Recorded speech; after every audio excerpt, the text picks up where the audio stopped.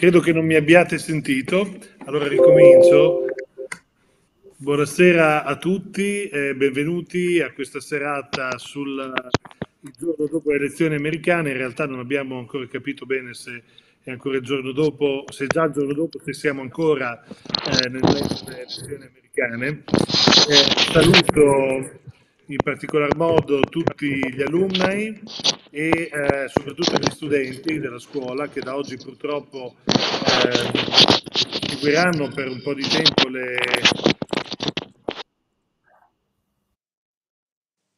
um, online. E do anche il benvenuto eh, a tutti gli ospiti che sono qui con noi questa sera e alle persone che partecipano dopo lo speech di Alec Ross alla alla nostra tavola rotonda il professor Romano Prodi, Monica Maggioni, Fernando Napolitano e do anche il benvenuto a Mike Plummer che è direttore della Bologna Center della Johns Hopkins University che è qui con noi questa sera. Eh, darei subito la parola al rettore eh, Francesco Bertini, che è anche presidente di Bologna Business School, per eh, un saluto di benvenuto e poi eh, così io mi limiterò un po' a ehm, dare la parola e aiutare forse a tenere un pochino i tempi. Ricordo che dopo l'intervento eh, di Alec Ross interverranno i discussant, quindi le persone che ho appena presentato e poi ci sarà anche un po' di spazio per le domande che vi preghiamo di inviare eh, sulla chat secondo le istruzioni che avete ricevuto.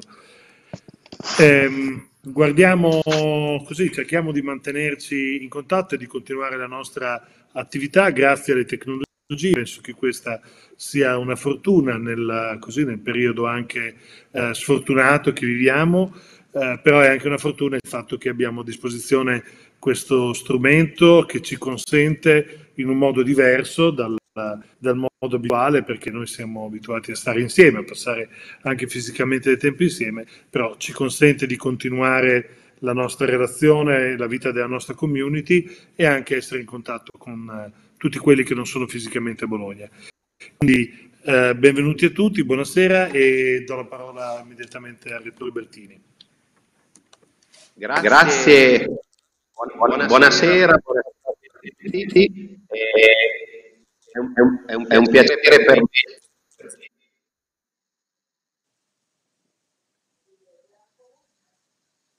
Mi... Scusa, avevo un ritorno. Eh, dicevo, buonasera a tutte e a tutti. Eh, è un grande piacere per me aprire, eh, portarvi il saluto all'inizio di questo, di questo evento, anche se mi sarebbe piaciuto molto di più eh, poter essere insieme in una grande sala come eh, l'Aula Magna di Santa Lucia o l'Aula Absidale non è stato possibile, eh, come diceva il DIN, e comunque le tecnologie ci permettono comunque di andare avanti e in questo senso eh, siamo fortunati.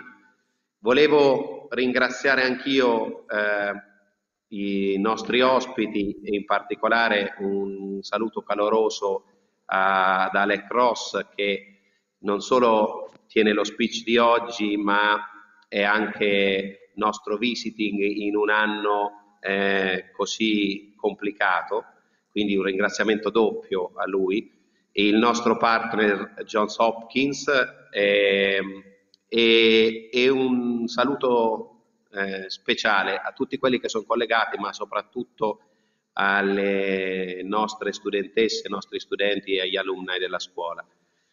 Eh, io mh, mm, non dirò non entrerò nel merito del, del giorno dopo delle elezioni, eh, ma volevo sfruttare questo saluto per eh, rivolgere un, veramente un mio sentito ringraziamento, eh, penso a nome mio e anche di tutta la comunità che rappresento, sia come Business School che come eh, Università di Bologna, eh, alla nostra scuola, alla nostra business school, intendo al personale, alla faculty, alle studentesse e agli studenti, eh, per la capacità che hanno mostrato e stanno mostrando eh, di reazione in una situazione tanto complicata come quella che stiamo vivendo.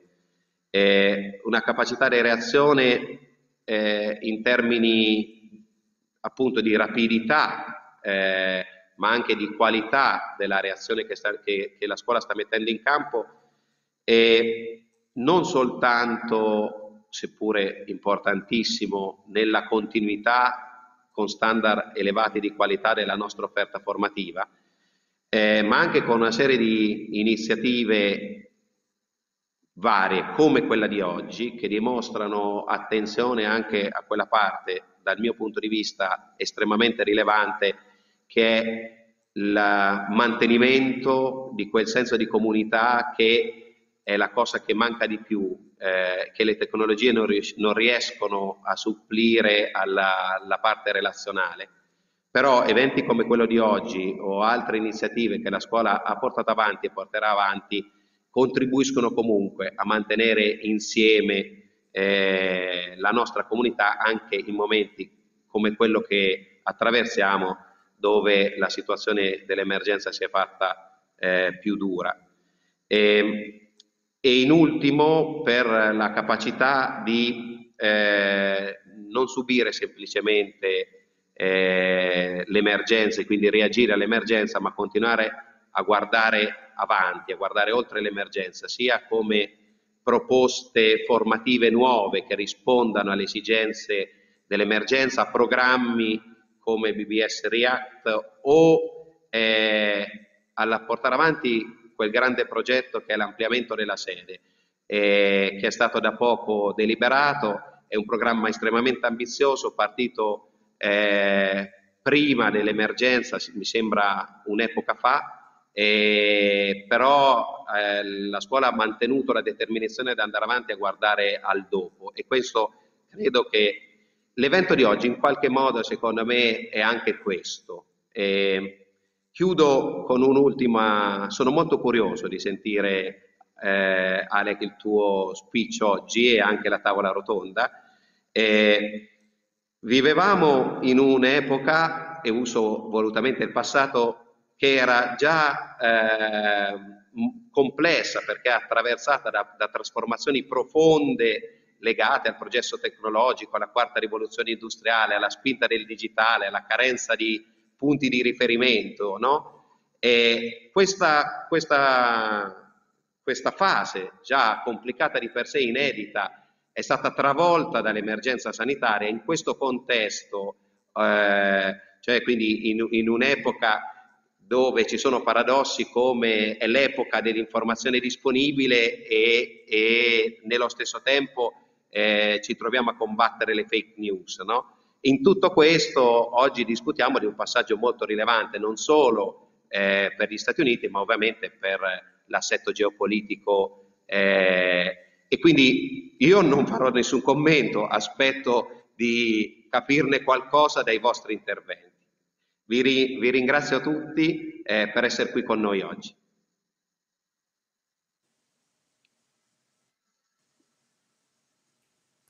Buonasera a tutti, eh, grazie al Rettore Magnifico, grazie a Massimo Bergami, il nostro Dean. Eh, mi, devo dire all'inizio, mi dispiace di non parlare in italiano. Eh, Italia, è mio, Italia è il mio secondo paese, ho un'anima italiana, però per questo speech che su questi temi non voglio sbagliare troppo, quindi tornerò a parlare in inglese, mi dispiace. Uh, let me say two words before I begin speaking about the election about uh, Bologna Business School, the convener of this event. I'm speaking to you in the grotto of Villa Guastavillani, a 16th century villa which is now at the heart of instruction of Bologna Business School. And for those of you who are new to Bologna Business School and who are maybe tuning in because of this event, I hope you'll choose to learn more. I decided to move for this academic year from the United States to Bologna in large part because this institution does a brilliant job of taking the very best of the past, drawing from the world's oldest university, now led by uh, the rector who you just heard from, and has created a business education uh, that draws from that past, even my speaking in a 16th century villa, but with eyes and instruction on the future. So I, thank you all for tuning in, uh, not just to hear about the election, but also I hope you have the opportunity to learn a little bit about this fine institution. Uh, so let's now turn to the election. I should say at the very beginning, uh, if you're wondering, I'm not wearing this orange tie uh, in some way to sort of as a shout out or support to Donald Trump. I'm wearing an orange tie because it, in fact, is the color of Bologna Business School. So don't draw any wrong conclusions from that. Uh, if Umberto Eco were here, he might be trying to interpret the symbolism of the orange tie. No, it's the symbol. It's the color of the school. so what do we know? What do we know? It's it's Thursday evening Italy time, and we are going to be together for a little bit more than an hour together. And during this hour, it's projected that a few more states may report their results. Uh, and so we are literally living a little bit of history together. What do we know without analysis? Three basic facts. Number one, uh, we have not announced a new president of the United States yet. The election may have taken place on Tuesday, but the counts will not be final for several more days. The media is projecting right now that there is about an 85% to 90% probability that when the votes are all counted, Biden will win. That has not been legally decided yet. So, in my own remarks and my own observations, I'm not going to speak as though Biden is the winner. I'm going to speak as though more contrasting the possibility, even the likelihood of a Biden administration, but juxtaposing it with what a second Trump mandate might look like as well. Another thing that we know there was no blue wave. Uh, for those of you who are unfamiliar with this term, this concept of the blue wave, un, un onda azzurra, is this idea that blue, the color of the Democratic Party, might sweep over uh, the White House, the Senate, and take over all of the Congress. That in the midst of a health crisis with COVID, in the midst of some criticisms of Donald Trump for his behavior, uh, that perhaps the American people would call for a big change, would push far to the left, and there would be a, a, blue wave. This is what most of the media anticipated. This is what the sondaggi, the polls anticipated. This did not happen. In fact, we have a very close presidential race. It now appears as though the Senate will likely be controlled by the Republicans. Uh, and it appears as though the Republicans actually gained seats in the lower house. So there was no blue wave. The third thing that we know is that even after the last votes are counted, it's quite likely that there's going to be some period of time, it may be days, it may be weeks, where things are fought in the courts. Uh, Donald Trump has already filed lawsuits in four states. In some states, he wants votes counted. In other states, he wants ca the counting stopped. It depends, not surprisingly, on where he thinks the Republican votes are. But it, we are now going to go from a test of democracy to a test of the judicial system, and we will see how neatly that goes. Uh, for some of our university students, you might have been very young. You might have been you you might have been babies in 2000 when this happened last, when Al Gore and George W. Bush uh, came together in an election that was so closely fought that it ended up in the courts. It's an open question right now. Do we have a process that draws out for months, like it happened like happened 20 years ago, or does the judicial system handle this in a matter of just a few days. So, with my remaining time, what I want to do, I want to make nine predictions. Most of my predictions and most of my analysis are going to focus on economics. You know, my, my I'm not a political scientist. I don't want to talk about the horse race or which state is doing this and or which electoral group is doing that. I want to I want to try to elevate briefly. Let's try to take things up a little bit and let's focus a little bit on the on some of the cultural dimensions and some of the economic dimensions uh, of what's going to happen. First, let me focus on the very short term. Uh, I believe, and I'm very sorry to predict this, but it is a prediction, that regardless of who is elected president, there will be violent protests that follow. If, as, as could happen with still a 10 to 15% chance of Donald Trump winning. If Donald Trump does win, I anticipate that within hours of that announcement, America's cities, unfortunately, will be filled with protesters, and those protests will turn violent, especially when law enforcement and if the military is called in. If Joe Biden wins, I still think that there will be protests, and I think that those protests could turn violent. But the nature of the protests will be different.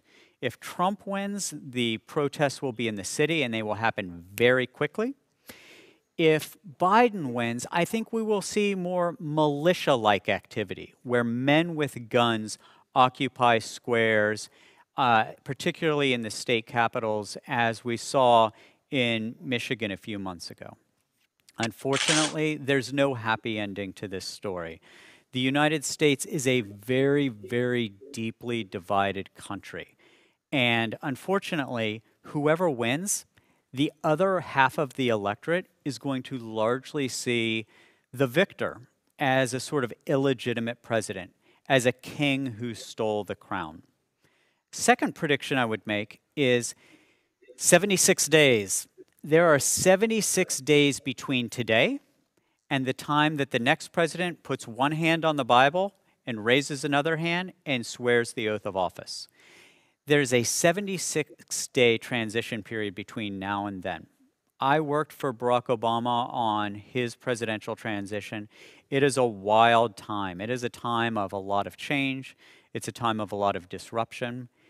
And my prediction is that these next 76 days are going to be wild, especially if, as is anticipated, Biden is named the winner in the next two or three days.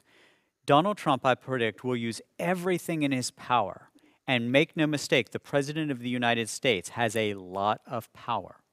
He will do everything in his power during these next 76 days to shape the world, to shape America, and to shape government as much as he can using all of the power of the presidency for 76 days. So I think it's going to I think there's going to be some a little bit of chaos. I hope I'm wrong. I hope I'm wrong, but I think we can anticipate a very difficult, unstable next 76 days uh, until the next president raises his hand uh, and takes the oath of office. Uh, next, prediction number three whoever wins is going to have a very difficult time governing. Uh, a lot of what was anticipated with a blue wave was that a Biden administration, if there were a Biden administration, would be able to do lots of very different aggressive policy making. It would be able to completely reshape policy in areas as varied as energy to taxes to infrastructure. What we're seeing right now, though, is with a divided government, with a Congress largely controlled by uh, Republicans in the Senate with a narrow margin in the House and with the possibility of, of a Democratic president, we will see only a, a marginal things that can get done largely as a matter of executive action as opposed to legislation. So we're going to see the power of the presidency significantly constrained because whoever wins, he will not come in with a big mandate. And what's more, because of the degree to which America is now very divided, it's not in a compromising mindset. I don't see grand deals being done between the leaders of the two parties. And so this takes me to my fourth prediction. For any of you who own stocks, you might have noticed that the last couple days have seen your stock prices go boom. The markets have shot up. In all of this uncertainty, uh, stock prices are going through the roof. Why is that? How is that? The reason for that goes back to my previous point. Uh, with divided government, what the American what the American people have basically voted for, in a manner of speaking, is incrementalism. Nothing bold. With the Republicans in the Senate, if that is what happens, and with a Democrat in the White House, if that is what happens, then the reason why we've seen these markets boom in the last two or three days is because of taxes. Uh, Joe Biden promised to raise taxes, uh, not that much for highest earners, from 37% to 39%, but he promised much more aggressive tax increases for corporations and in capital gains. What the stock market is saying right now is that because there's a divided government, that kind of tax, those kinds of tax changes that would be extremely redistributive are not going to happen. Uh, what this means is a very practical matter, is that business is, as usual means a low tax environment for the wealthy and for corporations, and this is why, despite all of the chaos in America's politics right now, we have seen equity markets shoot way up in the last few days. Next, prediction number five has to do with energy policy. Energy policy is one of the biggest differences between Donald Trump and Joe Biden. Donald Trump is a champion of coal, oil, and gas. And he doesn't really believe in climate change. By contrast, Joe Biden, who doesn't really have that much history in energy policy, he has fully embraced uh, a climate change agenda and um, an investment in renewables championed by more of the left wing of the Democratic Party. And so, what now is the consequence of what happened with this election, with what appears to be divided government? Well, if Donald Trump wins, we will see a continuation of uh, energy policy rooted in coal, oil, and gas, as we've seen the last four years. The United States will stay out of the Paris Climate Accords. If Joe Biden wins, as, as looks probable right now, Joe Biden will be able to do certain things with the executive power of the presidency. You, will, you can expect the United States to immediately re enter the Paris Climate Accords, you can expect some regulation which makes it easier uh, to support renewable energy and more difficult to do oil, gas, and coal extraction. But the idea of a Green New Deal, sort of the big, bold, you know, investment of hundreds of billions of dollars that I think would have happened with a blue wave, now I think is not going to happen. The Green New Deal, the mother of whom uh, in the United States is Alexandria Ocasio Cortez, the father of whom you could say is Bernie Sanders. With divided government, we will not see hundreds of billions of dollars going into a Green New Deal. We will see the Biden administration push more toward renewables, but it will not have the power to radically reorient energy policy because of the divided government. Uh, number six, the scorecard for economic and market performance. Donald Trump, as you may know, for those of you who follow Donald Trump on Twitter, Donald Trump evaluates his effectiveness based on the stock market. Uh, whenever people question the, his economic performance, he immediately goes to the Dow Jones. He points to how well people's retirements are count. Stock prices equal the measure of economic success for Donald Trump. And I think that that's been reflected uh, in the stock market. The stock market has had a booming last four years. Even in 2020, a year where you would think in, amidst COVID markets would tank, what we've seen is a huge recovery. Why? It's because Fed policy and other instruments, the formal policy of the Trump administration, has done everything in its power uh, to ensure that markets remain strong. What I anticipate with if there is a Biden administration is a pretty significant shift here. It's not that Joe Biden wants markets to go down. It's that I believe he will measure his effectiveness on economic policy differently. He will measure his effectiveness on economic policy on measures like Unemployment. Is the unemployment rate going up or down? Median wages. Are median wages going up or down? Inequality. Is inequality going up or down? So the scorecard for a Trump administration has really been the performance of stock markets. I think if Biden wins, we will see the performance, what Biden personally holds himself accountable for will be much more rooted in measures of inequality, median wages, and unemployment. Uh, my seventh prediction is about three things that won't change We know there are all these differences between Donald Trump and Joe Biden, but I actually think that there will be three areas of very minimal changes. Number one, a stimulus bill. Everybody has been waiting for a stimulus bill of anywhere from half a trillion dollars on the low side to maybe $2 trillion if there were a blue wave. Regardless of whether Biden wins, regardless of whether Trump wins, I do think that there is going to be a very large stimulus bill that gets passed. Uh, the nature of it will vary a little bit uh, depending on whether it's Biden or whether it's Trump. But I think the, di the differences will only be marginal. Uh, the second thing that where I think we will see few to no differences between a Trump administration and a Biden administration is on monetary policy. Uh, for the last four years, Donald Trump has really pounded the Fed to get monetary rates as close to zero as possible and to ensure liquidity in corporate debt markets to the maximum extent possible. I anticipate that a Biden administration for the next several years would largely look like a Trump administration in terms of that monetary policy. The third policy, the third area where, where I actually think that there aren't going to be much differences has to do with big tech.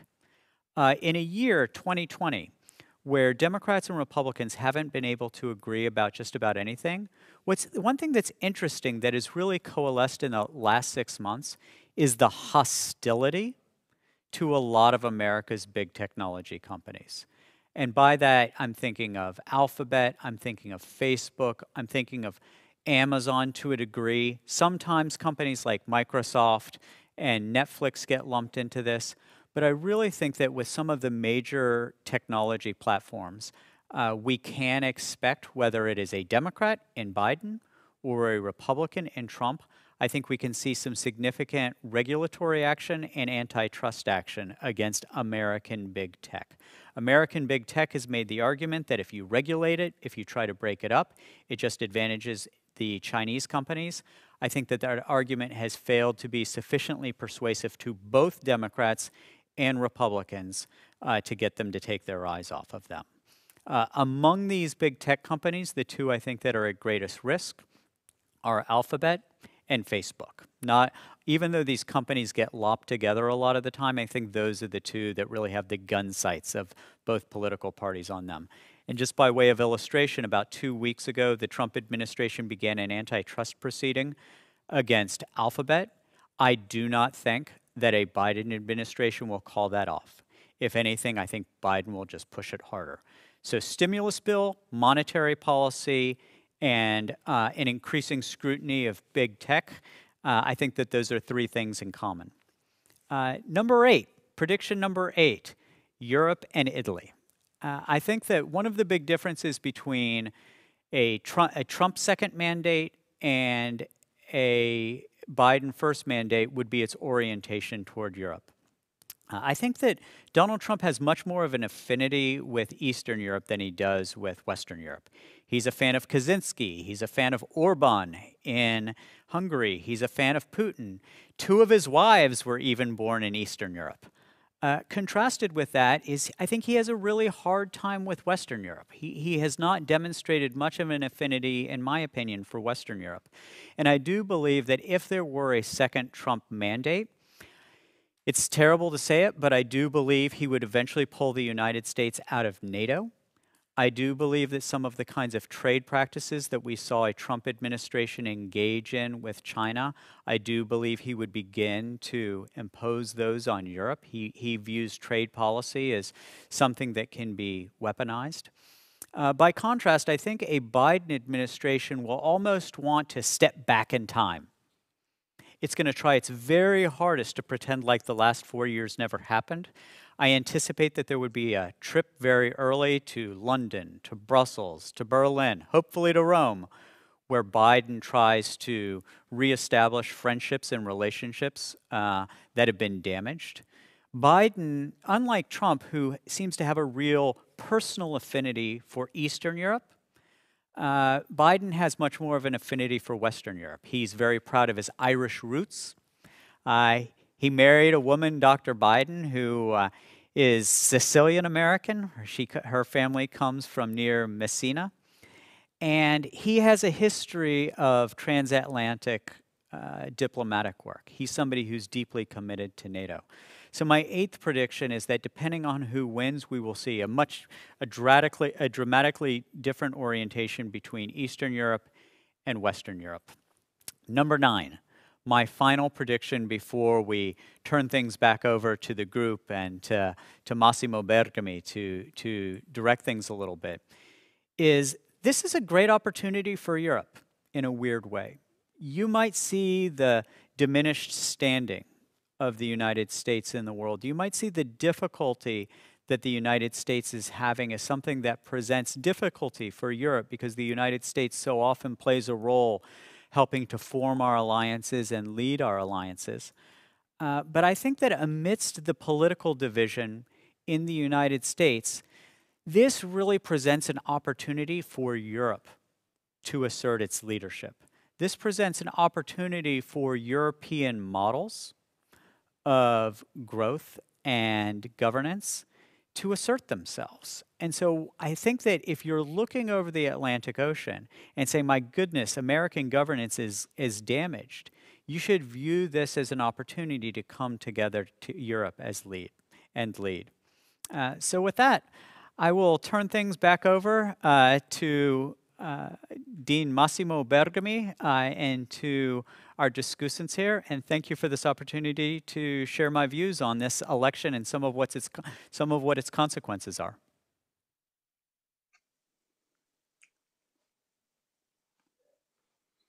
You very much, uh, Alec, uh, for uh, your speech, uh, and thank you for making also it uh, simple uh, for me, at least. it was very useful to listen your points, very schematic. Um, now, I think we want to start our conversation. And first of all, I would like to introduce Monica Maggioni, that doesn't need to be introduced by me. Um, she was uh, a, a, guest speaker of uh, the school of BBS when um, we had the graduation, I think almost 10 years ago.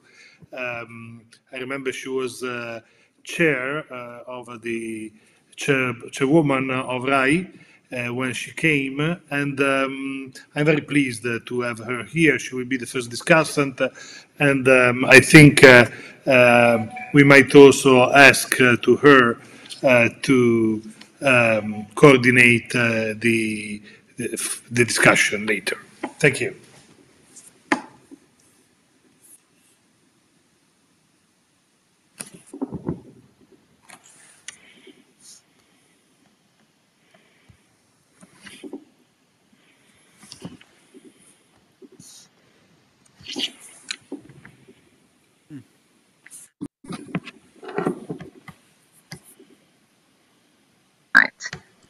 Okay, good. Okay. Looks like it works now. thank you, thank you, Max. It's uh, it's such a pleasure being back here to BBS. Uh, it's uh, it's always a great opportunity to talk. My only you know, my only concern is that we're not there in person in that fantastic place. We're not there to share visions and relations. But anyway, it's it's a great pleasure. So um, before trying to share or uh, making our discussion easier, let me just make a couple of remarks. Uh, very difficult to talk after Alec, very complicated, but let me just add a couple of things. Uh, seen from a reporter perspective or from the perspective of someone who has been living uh, in the states, around all these states with their different approaches to life politics relations.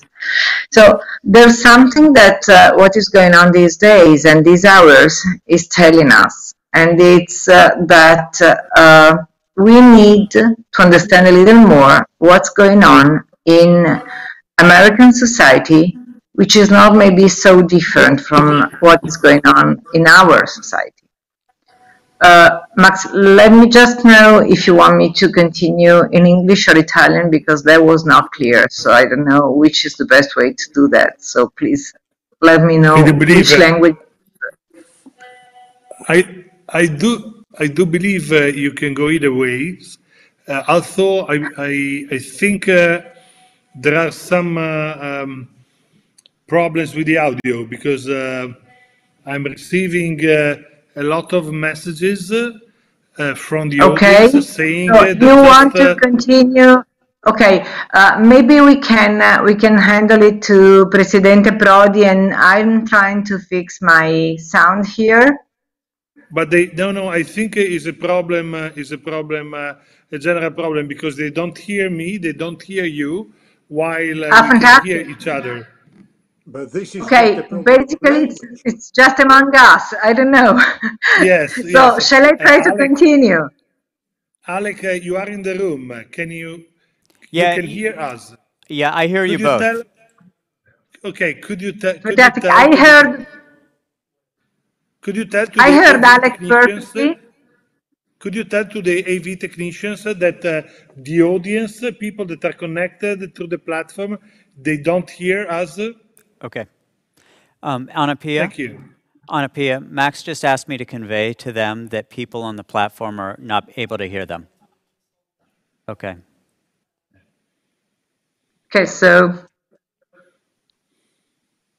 Ok, il problema è con uh, Max e Magione, f- quindi forse passiamo la parola al presidente Prodi o qualcun altro? E con voi perfetto, due, con, fantastico. e, con, Alex. e- Allora, e con Monica e con e Max mi hanno detto. Ok, ok, io cerco di cambiare device e intanto diamo certamente la parola al presidente Prodi. Ma eh, prima di tutto la lingua. Eh, se tutti parlano italiano, perché non parlare italiano? Io non lo so. I, I, I try to speak italiano, parli in italiano! Two minutes Fantastico. to demonstrate that I speak English, but I don't think that uh, Romano, is, is more Romano, there are students. uh, Bene, we, allora, we, have, eh, we have MBA saluti a students. tutti, ma Romano, specialmente a Monica. we have MBA students. uh, We have MBA students connected, both students that are uh, taking the course now that uh, started yesterday and today they had to go online, and uh, alumni. So maybe we can go a little bit in English also uh, for that. Yeah, no problem for that, but you have simply to order. You are the boss. Look, look. Uh, first of all, greetings to everybody, but to Monica and his more than anybody else. Uh, no, uh, I was charmed by by Alec's speech, and I do share. Um, I think everything you know he told. Mm, I am not so sure that uh, in case uh, of Trump, uh, the antitrust will be so so severe. But anyway, this this is a nuance, you know, because uh, uh, will be partisan, but not a general uh, antitrust uh, antitrust, you know. Uh, but uh, I, I I I do agree. But my first observation is more general. Let's say democracy. Look, in the last period of time, I was analyzing uh, the going back of democracy in many places of the world, you know. And my special attention was about uh, many African leaders that in the end of their mandate, they didn't want to go home. But I should have never imagined that this could happen in the biggest democracy in the world. You know, because uh, I was putting this in the list of African countries, but not concerning the United States. You know, this is my real surprise. And the message democracies are giving in this period of difficult for democracy is very, very damaging. We have to end, uh, Alec, we have to end very soon this, this fighting because it destroys our possibility of leadership our possibility of leadership. You know, the Chinese, the Chinese point of view is: look, you don't deliver, you fight each other, you are not uh, united. Never, we do that. And if this happens in Italy, look, it's not so important. But if this happens in, inside United States, this could change the future of the world. What I mean, United States strength is not because of uh, uh, hard power only, but because of soft power. And uh, uh, we, we, we cannot damage our soft power now, you know, because we are already too weak uh, to damage it. You know. This is my first, uh, first uh, uh, let's say, objection to, to, to, to what we are what we are assisting in this uh, in these days. Imagine what what the the Chinese leader will say, you know, uh, to the Africans. You want to imitate them? You want to imitate them? Really? No. We attract. We are uh, the, the the magnet of the world. You know, this is my really uh, most uh, uh, let's say dramatic uh, thinking. Uh, for the other point, I, I, share what Alec told, especially um, the change about Europe. I am sure Biden. I, I try to, to, to, to, to, read what he told in the past. He will never try to divide Europe. He will never try to divide Europe. Uh, he will never insult the German Chancellor. And uh, mm, so we have, uh, well, uh, will not be easy for him, even for him to renovate NATO, because uh, we have to be honest, uh, not only with, with Trump, but also with Obama.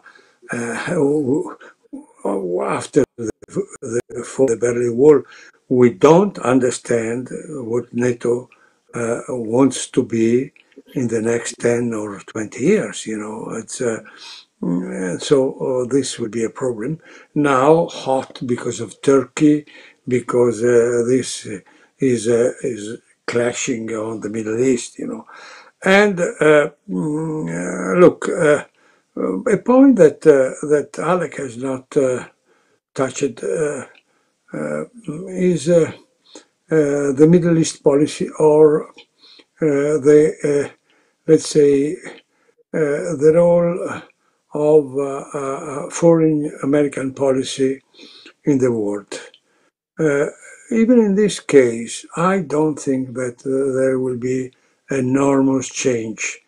Let's say uh, uh, um, Biden in any case, we'll go on with uh, the idea of uh, the last two American presidents to avoid at any cost any military commitment outside the United States. And this is also important to take note about it, you know. Uh, so we cannot expect uh, uh, interest in Libya or an increasing interest in Middle East, you know clearly uh, the link with Israel uh, will uh, is an exception to, to, to, to what I'm telling now, but the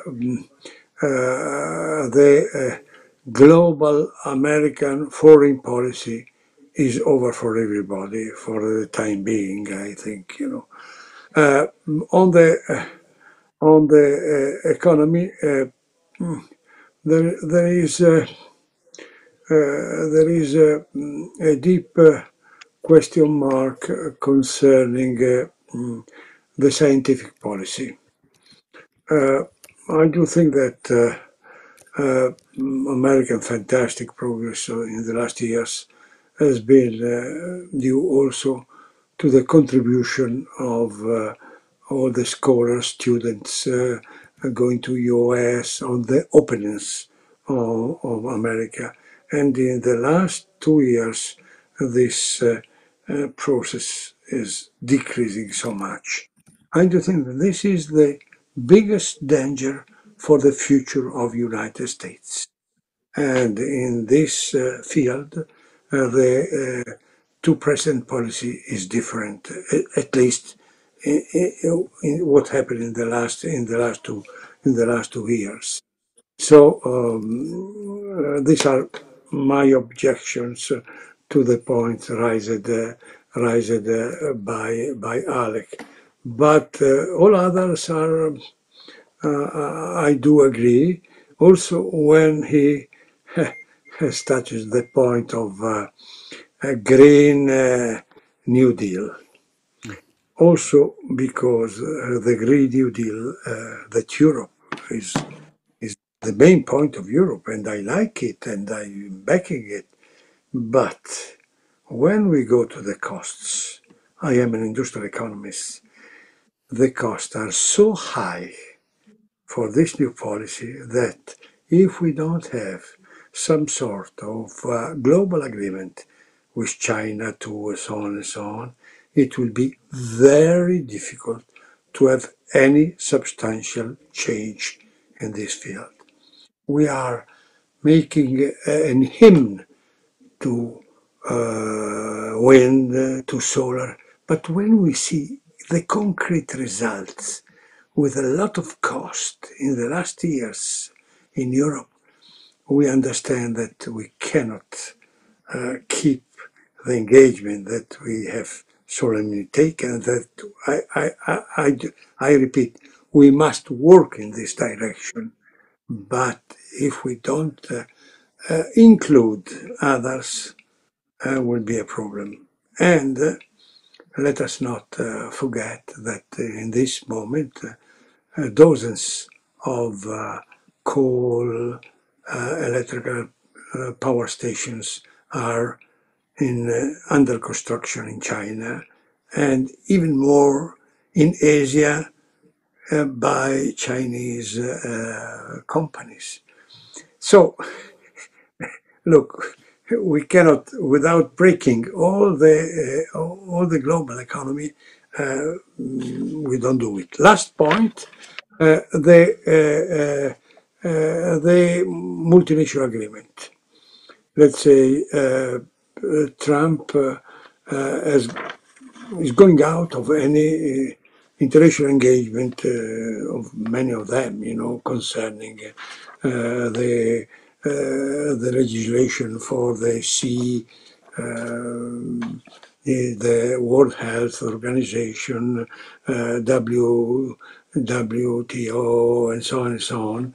Uh, mm, clearly, uh, Biden cannot reverse this policy in one shot, but at least UNESCO, at least uh, Health Organization, you know, will uh, will uh, will be uh, will come in. Not only the Paris uh, Agreement with all the reserves I done before, but uh, all the international uh, links. Um, uh, you know, is not uh, uh, for for Biden.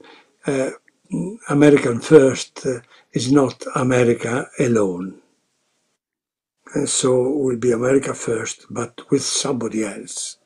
And so, last last point, really, uh, the problem of the relation with Europe uh, is important for US, also for the military point of view, because uh, I think that uh, to um, insulate Europe, uh, to um, divide uh, um, many of alliance, and uh, only mm, keep take care of the countries around China. You know, having only a Pacific uh, foreign policy, let's say Vietnam, Japan, Taiwan, is not sufficient for, uh, mm, uh, let's say, uh, a, a- global a global foreign policy. You know, so this is another uh, change that uh, I, I uh, that I do I do expect.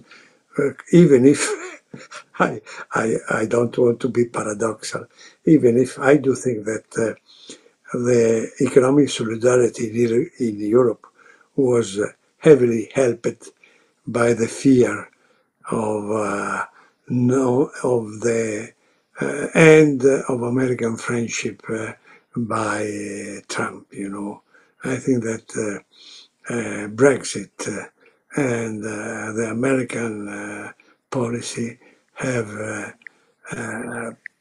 you know, have told to Germany, you Germany, you cannot stay alone in the new world global uh, challenge. And so uh, Germany changed also because of uh, of uh, the American hostility. I think that this change will go on, but is an absurdity. But I do think that uh, Trump policy helped, as it happens sometimes in history, helped the European unity in the last months.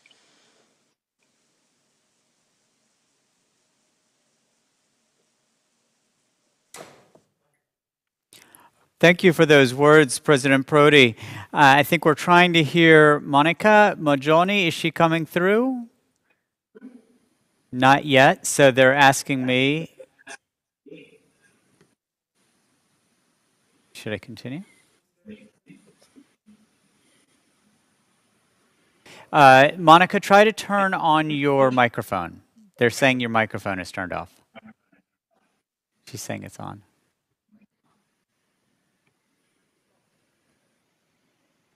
They are saying it is off.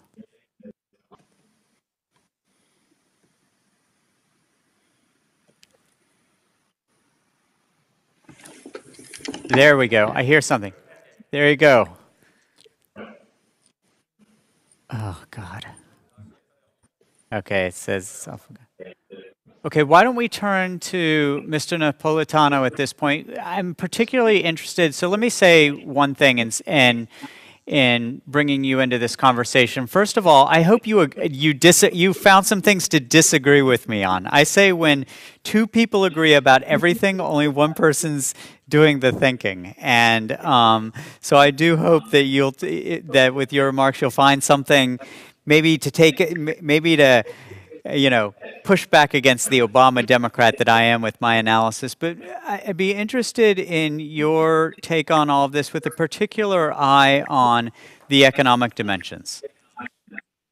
Well, you know, first of all, thank you for uh, having me here. And uh, the reason why I'm here is in America, uh, uh, somebody would say there is never a second chance to the first impression. And the first impression I get during our friendship is that I am a Republican, though an Italian. Uh, the um, the uh, you know, and so stereotypes sound about uh, starting from the fact that, as you know, in the United States, as long as we talk about fashion, food, furniture, and sport cars, we're number one. As long as we move away from those, we uh, start to be the laggard. And and, and this is uh, this is unfortunately, despite all the romantic law between the United States and Italy, uh, we're still uh, not having a serious business relationship as far as foreign direct investments is concerned, and as uh, uh, you know, also in terms of export. So, um, so the uh, I am supposed to be the Trump guy, and I have to, to be very frank, I'm not. if I were if I were an American and I'm not, uh, would have been in deep trouble for these elections. Uh, um, uh, probably in Italy, we are used to too many, way too many options. Uh, but uh, I would have been in serious trouble in picking one of the two. So I'm glad I'm not. Uh, so having said that, you know, I, I went through your points, and I think there are a number of things. first of all, probably you mentioned that there have been some issue. You know, I think that where they won't change China. I think that on China there has been a bipartisan uh, uh, support in the relationship with China. And I think uh, that China, among other things, has been uh, a strategic historical mistake uh, to bring it way too early into the WTO under the assumption that we would have uh, uh, westernized uh, China. And the truth being that today China is growing, is imperialistic, is, is, is, is aggressive, and it, it is the I think the real competitor uh, to the United States and Europe. And and I think uh, uh, that the, the most important thing of the presidency, the Trump presidency, is that it has been the most consequential uh, presidency, uh, at least in my lifetime. Hmm. Uh, uh, Trump has done a number of things that have delivered today a different world vis-a-vis what we had four years ago. So he uh, smashed the uh, nuclear accord with Iran. He pulled out from the Paris Accord. He uh, uh, uh destroyed the relationship with NATO, and and he you know he went on supporting or trying to have a better relationship with dictatorships, as you mentioned earlier. the the World Health Organization, you know, his trust in the UN is minimal. So today, and this is not a judgment, we are managing a different world. And I think the most uh, uh, uh, dangerous thing that he has done, he has tarnished American credibility. What has happened in, in the uh, Middle East, and especially with the Kurds, it's something that cannot be restored in six months. Uh, predictability and trust, as you know, is the number one thing in any kind of relationship. And after what has happened, I think uh, we are going to uh, face, in any case, a different America. Now, for this discussion and the election, I, I see two things. The domestic policy, and I believe that the United States is in itself resilient, even though there are a number of things that might happen in the next uh, 76 days. But the United States is, as we all know, the oldest democracy. It's a federal state, even though the Supreme Court today six to three. There, there, should be no misunderstanding that judges appointed by Trump will not do lip service to Trump. Uh, on, on any issue, they will try to establish their reputation because they take care of their legacy. And of course, on ethical issues, uh, there might be differences, but but I think uh, that United States is a very solid system. The military, I think, uncompromisingly took the distance from the president. So even though we're going to have here and there, and that's I think is the salt of democracy, I trust that everything will go not as smoothly as we all have liked, but I think it'll go through. Comes January 20th, we're going to have uh, you know a new president. So that's, you know, I'm not concerned about domestic policy. Yes, one to three trillion dollars. You got a huge issue about the American dream. You got an issue on the quality of employment because before COVID, you had a very low unemployment rate, but the quality of the employment was very low, so that you had to have two or three shifts for people to make at the end of the month. So I agree with you. Inequality, it's a big issue. Where I am, uh, on the other hand, very, uh, you know, optimistic is, as we discussed earlier before uh, we, we started this conversation, is about Europe, in fact. I think Europe will be defined by the crisis that it will be able to manage, face, and shape. And I think this is a unique opportunity for us uh, to get out of the wake of the United States. Uh, with all the due respect, you know, here comes a guy who has been studying between the uh, NYU, Harvard Business School, and Hamilton.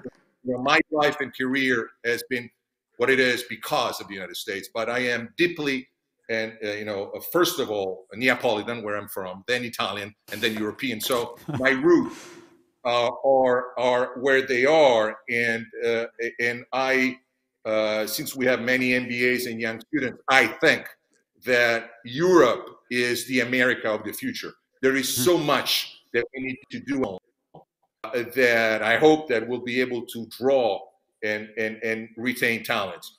I think that Europe has two major things to do. One thing is we need to create not only an, one market on that we have, but market on services. We need to create scale and scope of, of companies, and we have done that in the past. You know, Airbus could be uh, uh, you know, a brilliant example as, you know, beginning of the mobile industry, we were in Europe the absolute leader with GSM, which by the way stands for Groupe Special Mobile. The other thing is, is as Professor uh, uh Prodi and the President Prodi mentioned, it's military. Uh, I don't think uh, uh, that you know being Trump or Biden, you know NATO is is is is something that that will be enough for the future. We need to have and start to be together on the continent, especially after Brexit, on the military side. I know this creates a lot of issues on because you know we have these arcobaleno things, peace and law for all. But if we want to really be competitor and friends, we got to get out from the wake of, of the United States and thinking about it. By the way, a person which is cannot be, uh, uh, uh, you know, called a Trumpist, which is uh, uh, our former Prime Minister Giuliano Amato, he had some issues about the NATO strategy in provoking Russia so much and so soon, uh, so that we pushed away. Uh, uh, and he would say uh, that you know Trump, Putin could be a cent or an evil. Depends how you manage it. And probably we have not managed it well. So I think on the military side, we have a lot of things to say. We have an atomic bomb, which are, which is the French, the French one. They not will not be ready to share with us immediately, but it, but it's an asset. And after Brexit, as you mentioned, I believe that we Italians are the best candidates to fill that gap in terms of a good relationship with the United States for a number of, of, uh, of historical reasons. So I, you know, to your last point about the opportunity for you, I do agree with you. Uh, I think that China remains uh, a difficult client uh, for everybody. Uh, still today, I, I, don't understand why, if you have a picture with the president of China, you're a cool guy, and if you got a picture with Putin, that guy.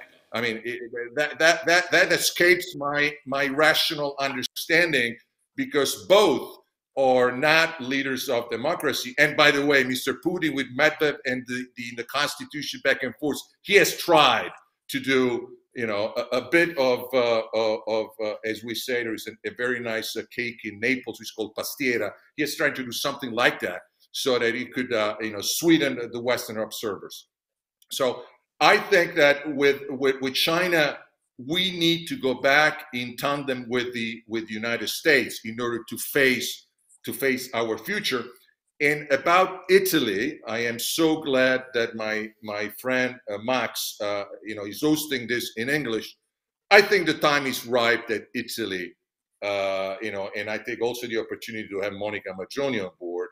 You know, we need to start to speak in English to the rest of the world as you know, we do not have anything. You know, last week or two weeks ago, very important British magazine had this article about the dawn of Italy going back to the Gattopardo and everything, abstracting things. So we don't, we do not own our narrative. And in the new scenario, it's going to be disruptive, irrelevant from Trump on Biden. We need to step up.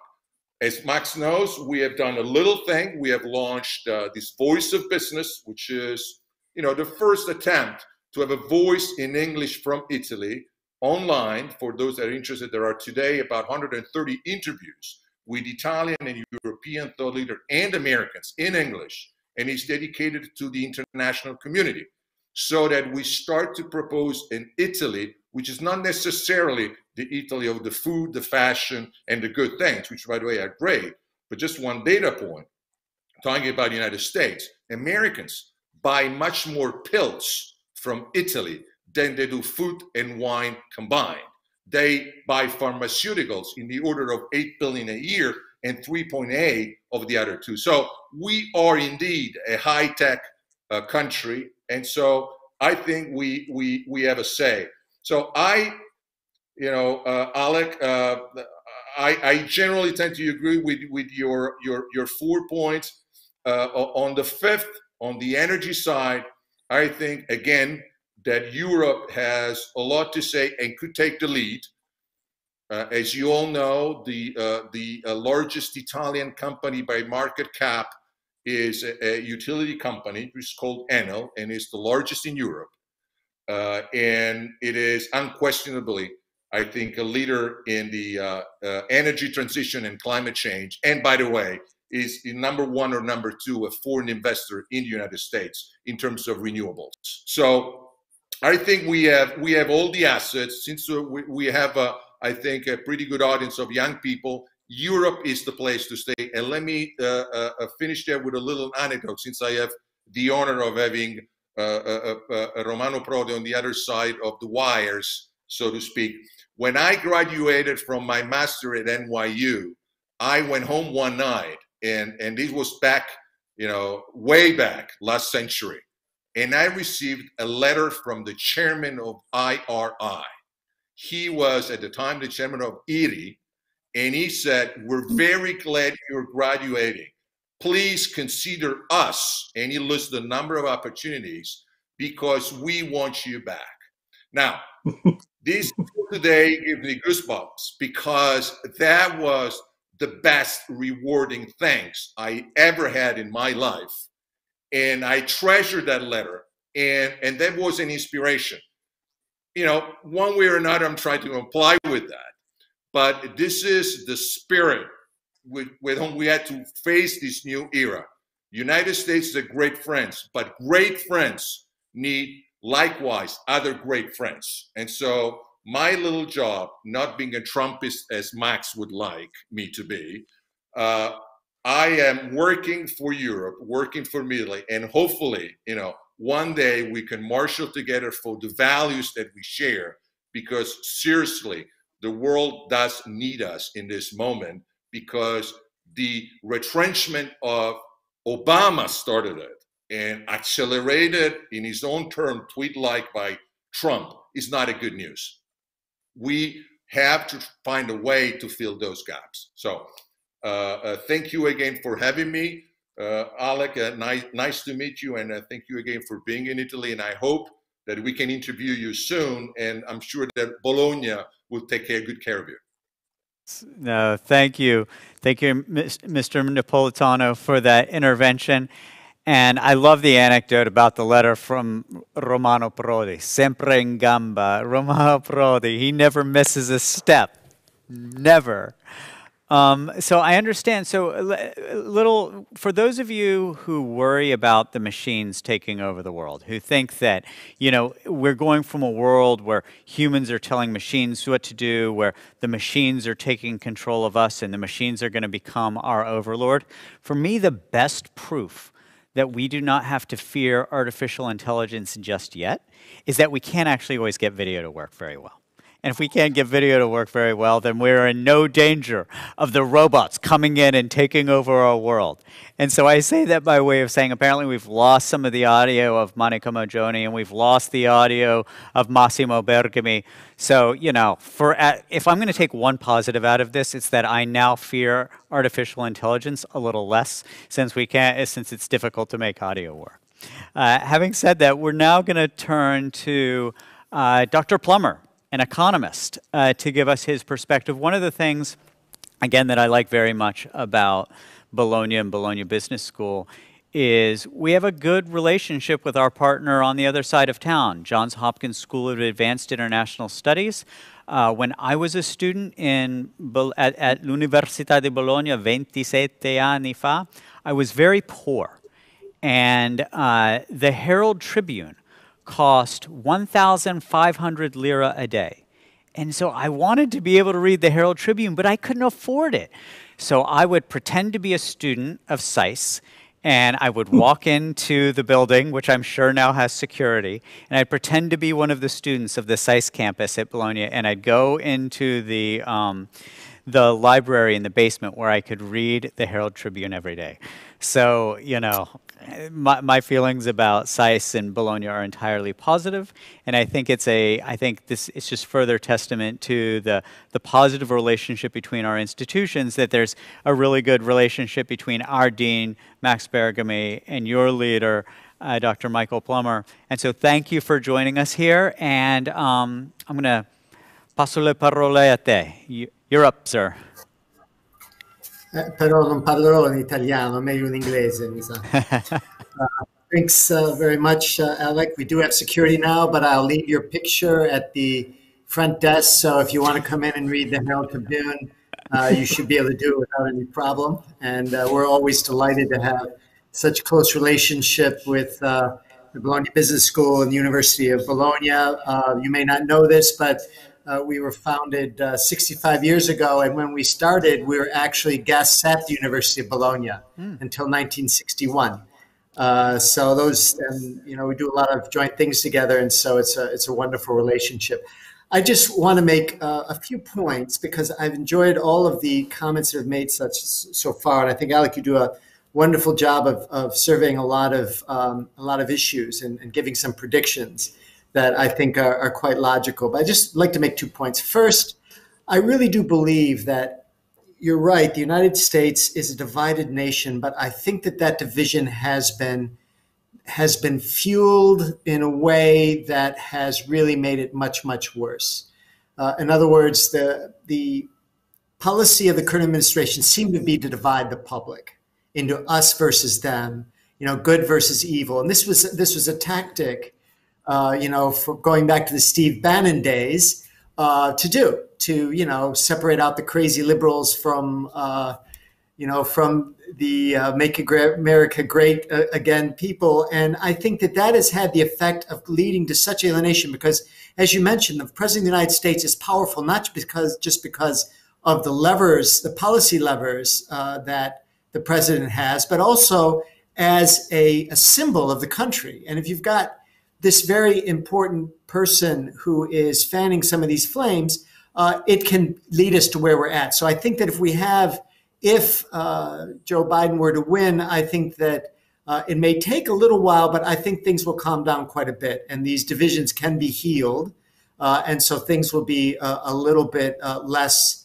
uh, crazy as they seem to be these days. Secondly, I, I, guess I would add to one of your your points a problem having to do with debt. Now, uh, you mentioned that the stock market has been something that President Trump has measured his success on, and I, I would agree with that. But what we saw with when the Trump administration came in was a huge fiscal expansion at a time we were already approaching full employment, as economists would say it. And you had a huge cut in taxes and uh, a, an increase in expenditures to the point that even before COVID hit, in the first half of uh, 2019, we saw a, uh, a record deficit. We had uh, already in the first half, just for a half, $780 billion deficit.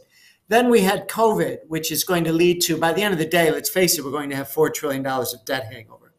Now, let's assume that we have a Biden administration that comes in I, who wants to do things. I think that the uh, Republican Party, uh, which, as you mentioned, will probably uh, uh, control the Senate, will be antagonistic to any increasing spending. And while that might seem to be folly, I think that that's what history shows us. When you would know better than anyone watching uh, what happened when President Obama inherited the worst economy in 75 years and had to fight for his life to get a very, very small stimulus package because the Republicans, when they're out of office, are fiscally conservative. Uh, when they're in office, they spend like drunken sailors, and this is the problem we're at. So what you're going to see is my, you know, the problem that I see coming is that once we get this new government installed, you know, after six months, you're going to have uh, the Republicans becoming once again fiscally virtuous and are going to be arguing that we need to cut spending and preventing from the government from doing anything new, like some of these energy policies that you're mentioning. Um, and this is going to be a you know a problem for the economy that needs to heal. And eventually, we're going to have to do uh, something with that debt.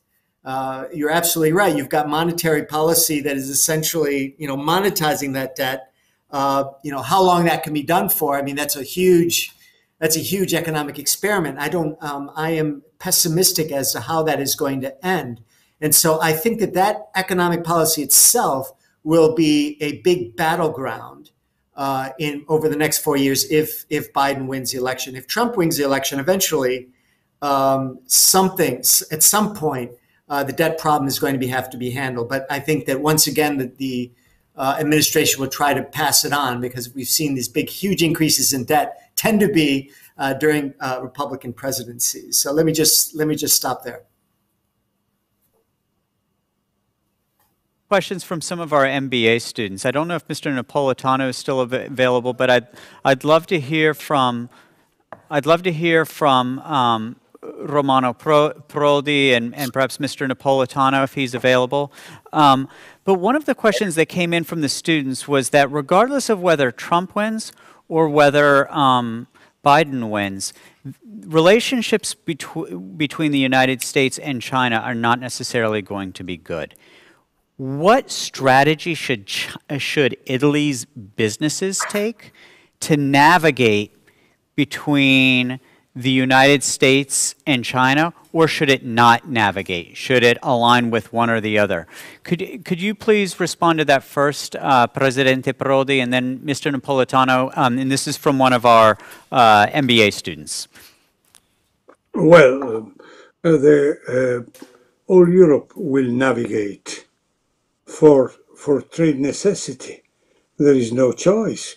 The problem is to navigate together if we navigate together, we preserve the NATO, the alliance, you know, the traditional alliance, and we can do our business, you know, as we do. But look, uh, the navigation is uh, necessary also for United States.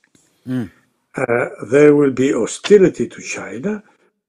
Totally, uh, I, I, share that uh, Republican Democrats will do the same policy, but don't forget that in the last two years, American investment in China increased. And the tensions moved from trade to technology, and there is tension and will be an enormous tension in all the fields concerning security, mm, defense, but when you have 40% of Chinese exports that are generated by multinational companies, mainly American, you push the hostility to some point. And so my point is general hostility vis-a-vis China, but everybody will navigate in some way in the business area as has been done till now.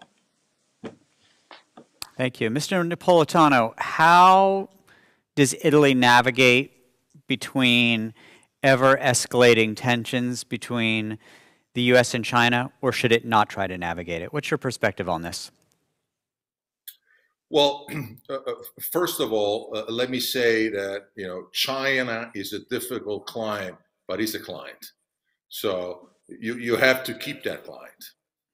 Uh, and and uh, unless you want to go to war, which is not my idea, even again, if if Max would love me to do that as, as a Trumpist, but but it's uh, it's something that we can uh, navigate or lead as long as we have a strategy.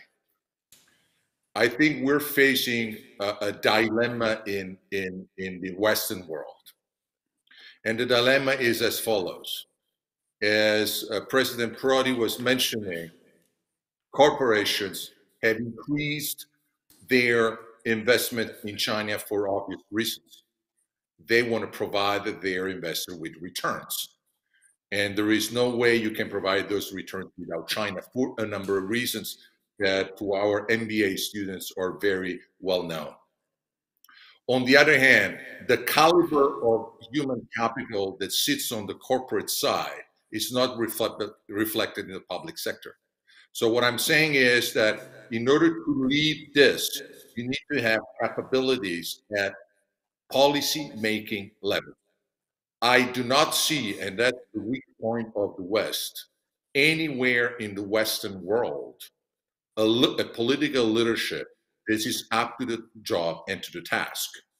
Talking about our continent, we all hail Angela Merkel Yes, she has done very well, but we're comparing her to a level of capability which is probably in our recorded history minimal. So, what I'm saying is that the real challenge is how politics can go back into the leading position to intermediate between the need of the capital to give return and the well being, peace, and prosperity with with a China that again is not a democracy. So you they're sitting in in in the, in the grotto at uh, in Bologna. I'm sure that if you are going to have judicial trouble, despite our reputation, you're much better work better off in Italy than you would be in China. So the the the my answer to the question is that we are going to navigate uh, awaiting for a major leadership in terms of policy making that can help us lead and not follow the blackmail let's put it the way it is that china has uh, vis-a-vis the west both in terms of investments the silk road and the fact that uh, china is the largest creditor to many of the western countries so that's why you know managing a business it's complicated but easy. The largest corporation can have hundred thousand employees. When you're managing about a billion people, and that's what pretty much it's us plus Europe, uh, plus United States, it's a different ballgame. So I hope that you know in the next few years we can have this transfer of know-how and capabilities because the policy level is what is missing. Thank you, thank you. And then we're at 7:30, but we got a great question from another great question from one of our MBA students. And the way I want to conclude this is I'd love for all of us to to answer this final question. I wish we could hear Monica on this because I would have loved to have heard her perspective, but maybe I'll we'll bring her on in another opportunity for this. Um, moving around first with Dr. Plummer, then uh, Mr. Napolitano, then Presidente Prodi. Among the discussants, we'll have you conclude with the three, and then I'll give my own perspective on this question. It's an interesting question. It said, you know, among the final presidential contenders was Donald Trump, uh, a white man in his mid 70s, uh, Joe Biden, a white man in his late 70s, and Bernie Sanders, a white man in his 70s. What are the, what will it take for the next generation of political leaders to break through? That was the first part. What will it take for them to break through? And what will the attributes of the next generation of really good leaders be? So let's go. Let's go in sort of in the direction of the clock here. So Dr. Plummer, Mr. Napolitano, Presidente Prodi, and then I'll conclude it with an answer. So, so Dr. Plummer, you work with students. Again, to restate the question, the last three presidential contenders were three white men in their 70s. Um, what is it going to take for a different generation and a different type of political to, leader to break through and to help bring people together?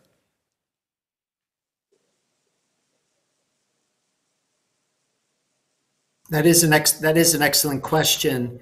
Um, I think the short answer would be time. I think that what we will see is, if you look at the, demo- the demography of the United States, is changing very rapidly, uh, and uh, I think the system uh, of you know the political system is going to be changing with it, and I think over time you're going to see much more diversity uh, at the top. And uh, you know, obviously, we do have uh, one of the vice presidential candidates is not a white male, and I think that could be that will be something in the future. And um, but but you're right. It is. Uh, it, it, it, seems to be the last throw. I think for these these uh, older older white males that we see. And you know what the attributes will be. I, I'm that too is a great question, and I would love to see uh, a much stronger background in economics in the presidents coming into office. But uh, that is not something that's going to happen. And and what I, my fear is that it really is being a good marketer seems to be very uh, uh, a very important attribute these days. You know how to work with the social media and everything. I think that uh, whatever anyone says about President Trump, I don't think anybody would dispute the fact that he is brilliant in terms of marketing uh, and in using social media. Um, and so I think in the future, uh, that person is also going to be, have to be savvy on these new uh, on these new platforms as well. and you know things are changing so rapidly. I, I don't know where that ends, uh, but uh, I, I think that's going to be an important attribute as well. So one I hope to happen, the other uh, I think will be necessary. Very good, Mr. Napolitano. Uh, uh, I, I, myself congratulate to he or she who posed the question because I think it's at the heart of the problem. Uh, uh, let, us start with a, with a clear understanding without hiding, hiding ourselves behind a finger. The, the, the real the, the, understanding is that this is the first globalization in the history of a human being that is done on the rule of law. Uh, we have had 30 years worth of growth without any war, at least in between uh, the contents we're talking about, and any war that we have had has been marginal to the business. The implication of this is that there has been no uh, history uh, where human capital has been attracted by the private sector in masses. Uh, where I, when I go to universities or any gathering and I ask who's going to join the public service, no hands goes up. And, mm. and, and the reason why, yeah, I know you're hurt, and, and I'm, I'm mm. going to come back to you, uh, is and the reason is that the value proposition of the private sector of the last 30 years has been incredibly attractive.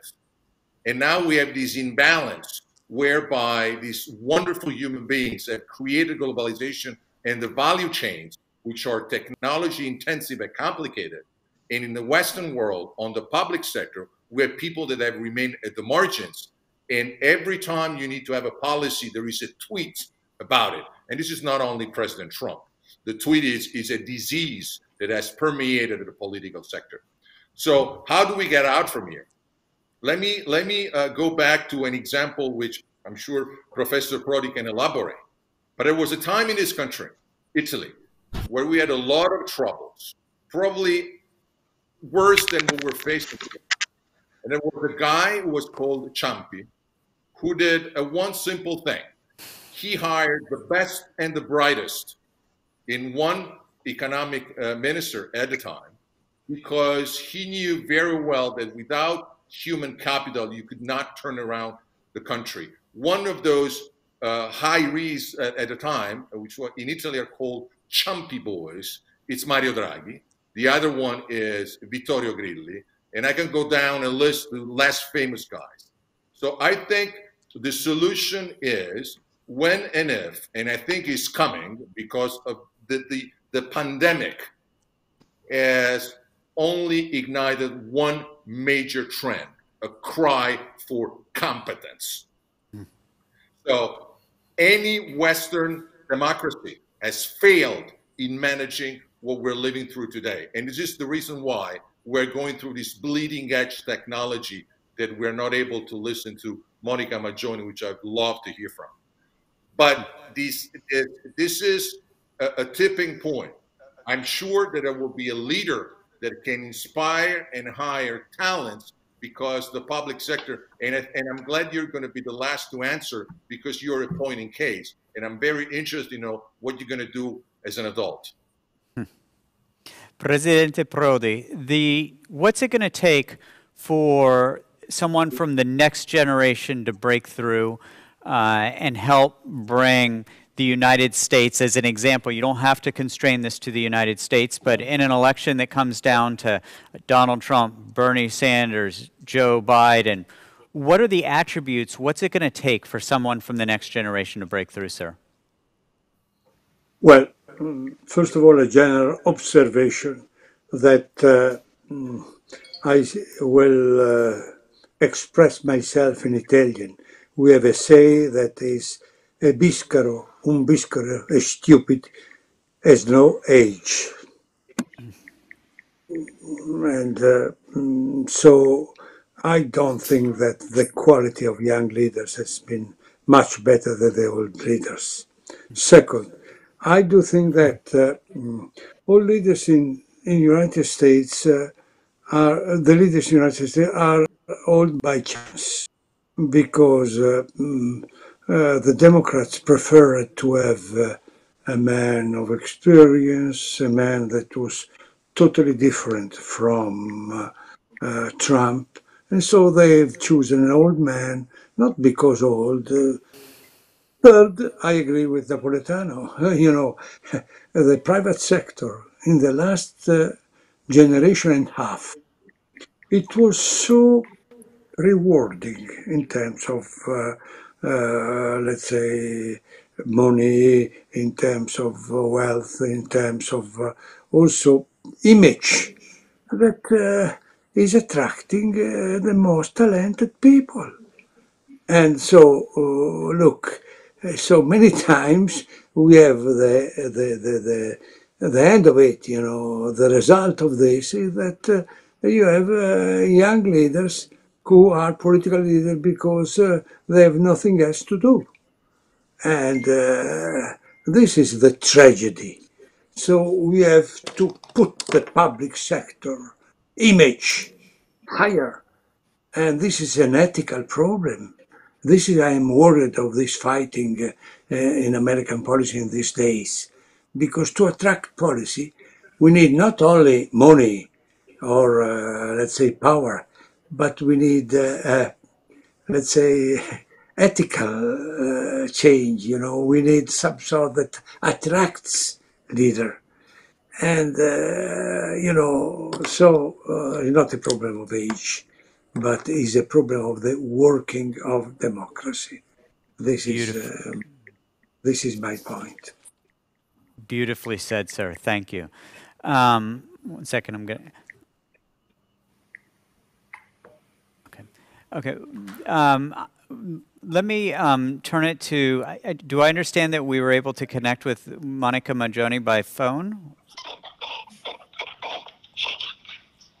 No. Okay. Okay. Monica, Monica, prova a parlare. Monica, sei in No, so I'm not afraid of the machine. So I'm going to I'm going to answer this final question Monica, myself now. Um, so thank you for all of your your tremendous answers to that, and thank you to the student who asked it. Here's my view. Right now, all across the generations of political leaders, but among the younger generation more than anybody else, they're playing identity politics. Are you tall? Are you short? Are you white? Are you black? Are you brown? Are you gay? Are you straight? Are you It's all identity politics. And it is making our politics more tribal. We're it's like we're going back thousands of years where everything within 200 yards was a tribe and you fought between the tribes. But we're now doing it on a national scale of 330 million people. And so for all of the, you know, these new political movements that are emerging right now, where oftentimes they are embracing the language of diversity, what they are in fact doing is they are dividing. And they are putting us into each little tribes, and we are fighting between each other in almost tribal ways. And so I think that the leaders who emerge from the next generation will choose to see that which we have in common as opposed to that which makes us different. And I think social media plays a very negative role in this, where if you say something a little wrong or you don't agree with somebody exactly, you throw the spears at them, you destroy them. So this is it's it's created this sort of pure this almost tribal purism in the in our politics and it frankly it's worse in the next generation uh, in the next generation than among any others. And so there are lots of young people who are listening in. And, and what I hope is that, that in these moments of real division, you, whether you're going into business, whether you're going into government, whether you're going into the NGO sector, when you think about building a team, when you think about building a partnership, when you think about building a brand, instead of just thinking about how you're different than everybody else, think about how what the connections are between you and those others. I think that you know the politics of the last decade has has really been about blowing up bridges and I think that the politics that we need from the next generation need we need some bridge builders. Uh, and so with that, let me conclude our, our session to, today together. Let me thank uh, all of our participants, um, Monica Maggioni, Michael Plummer, Mr. Napolitano, Presidente Prodi. Let me particularly thank Massimo Bergami for his role, uh, always positioning uh, Bologna Business School for what's next. Uh, you know, this was originally supposed to be an in-person session. We were going to have a lot of people. We, you know, we have these, we have tremendous infrastructure in Bologna. We can get thousands of people into a room and, you know, be able to connect and engage in in person. Even for this, even for this session today, you know, as of two days ago, we were going to do it in front of a classroom of students, but we don't have that kind of control anymore. Um, you know, facing a pandemic, we all have to adjust. And so, Max, I give you an enormous amount of credit. I give a lot of credit to my colleagues here at Bologna Business School who have been willing to say, oh, well, we need to cancel. We can't do it. Rather than saying, how do we pivot? We can pivot very quickly. And that comes with a really open mind. And so I thank you, Max. I thank uh, the, the folks who I'm looking at from Bologna Business School. And I really want to thank uh, those of you who have listened in. It's not as fun sometimes to look at an iPad or look at a computer screen and listen to people when there's sometimes a mistake, you know, where there's sometimes problems with the audio, sometimes problems with the visual. But I think it's a testament to you who choose to care about learning, where you say in this moment of pandemic, you're not going to stop your learning just because it's not as enjoyable as it is to go into a beautiful grotto or go into a, a beautiful aula at l'Università di Bologna to listen and learn and get to walk up and meet the, meet the people. Uh, don't lose hope. Don't lose faith. We will get those days back. We will. Hopefully, it'll be sooner than later. And in the meantime, thank you for engaging with us in this digital world. Thank you again to my fellow co-panelists. Uh, it's an honor to share the screen with you. Uh, buona serata a tutti. Thank you. Grazie, Grazie. Alec. Grazie a tutti. Grazie anche a Monica che non è riuscita a, a partecipare. Adesso vedo che non c'è più, però grazie a tutti. Ciao Fernando, ci vedremo prima o poi. Ciao Mike. Okay, are we off?